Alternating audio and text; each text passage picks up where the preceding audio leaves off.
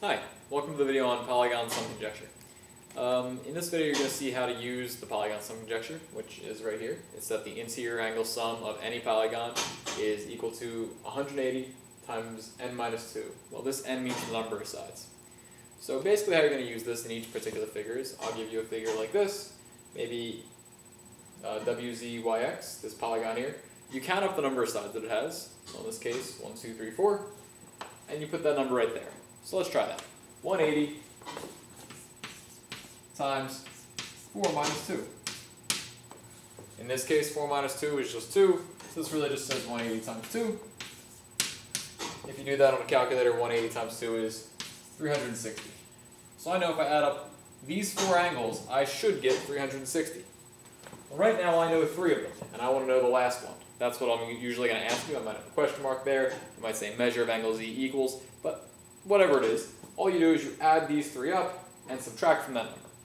Okay, so if I go on my calculator, add up 115 plus 62 plus 72.2, I'm going to get 249.2, and all I'm going to do is 360 minus that 249.2, which I got from adding those three. When I do 360 minus that, I get 110.8. And that's my answer for that problem. Okay? Again, all you have to do, find the sum by using this formula, get the number of sides, put it in there, and then of course, add these up and subtract from the sum. Let's see another one. Same exact idea. So again, I'm going to count the number of sides. Let's see. 1, 2, 3, 4, 5, 6. I can also just count the, the letters you see here, the vertices. There's six vertices, so there's six sides. So in this case, it's going to be 180 times the number of sides. In this case, 6 minus 2. That's 180 times 4. 180 times 4 on the calculator has, happens to be 720. I know these off the top of my head because I do this a lot. So this says if I add up these six angles, I better get 720. So I'm going to do the exact same thing. I know five of them. I'm going to add those up. I'm going to subtract from 720. So I'm going to go in here 111.9 plus 130 plus 115 plus 118 plus 120 and I get 594.9. And what I'm going to do with that number is I'm going to subtract from 720. So 720 minus 594.9. Uh, and when I do that, I get 125.1. And that's that. Now assuming that I haven't made any mistakes, assuming that I didn't type anything wrong, this should be totally right. The only place you can really make a mistake here is if you type in one of these numbers wrong, or you type in one of these numbers wrong. That's about it. And the more numbers you're typing, the easier it is to make a mistake. So just make sure you've got the right idea. I, I mean, it's okay to make a mistake here or there, but just double check your work. At the end of this problem, if I add up all six of these, I should get 720. If I add up all four of these, I should get 360. If I do, I'm right. If I didn't do it right, then it won't come out correctly. Let's look at this third example. This third example is not more difficult, but it does take a little bit longer. So it's the same idea. So I, I know I want to count the number of sides to figure out how much or what the interior angle sum should be. So let's do that. Got one, two, three, four, five, six sides. Well, conveniently, I already did this. 180 times 6 minus 2. I already know the sum is going to be 720. So I'm not going to do that again because I just did it. But the point is, if I add these six things up, I should get 720. Now, here, it's not as nice. I can't just add them and subtract because I've got variables. So what I'm going to do is I'm going to write them down as I go. Okay? I'm going to big long sum. 5x minus 23. That's this angle here. You can't see it. It does say 5x minus 23.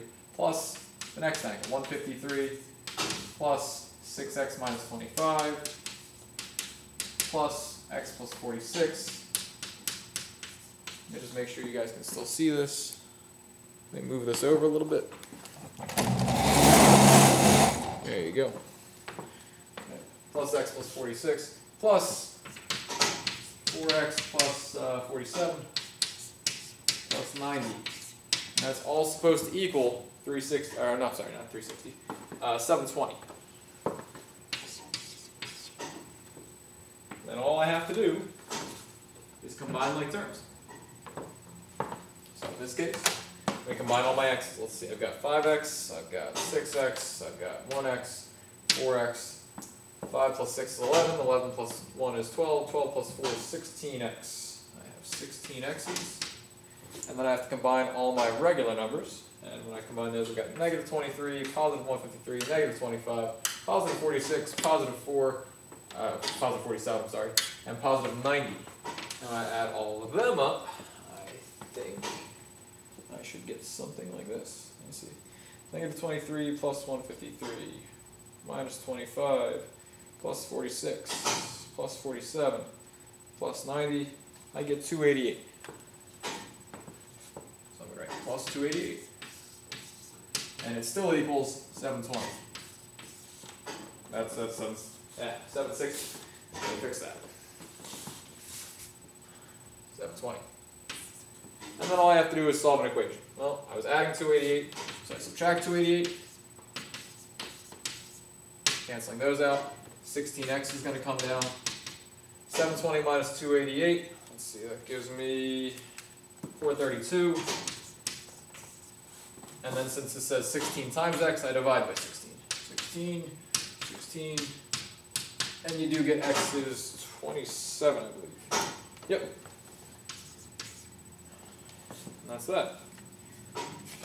Now for this particular problem, we're pretty much done. In some problems, uh, if the instructions are solve for x, then you're done. In this particular problem, I meant to have this here, uh, measure of angle w. I want to know what that equals. So, problems a lot of times will ask you for one specific angle. So all you do is take this x and plug it in wherever I told you to plug it into. I said w, so this is going to say 5 times x minus 23. Well, x is 27, so it really says 5 times 27 minus 23. 5 times 27 should give you... Uh, I don't know, I can't think of that. 125 plus 10, 135, I believe. 135 minus 23 is 112. And that's that. That's all you have to be able to do.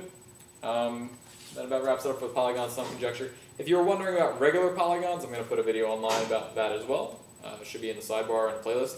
Uh, if you have any questions, let me know, and I'll get back to you as soon as I can. Hope this video was informative. Have a great day.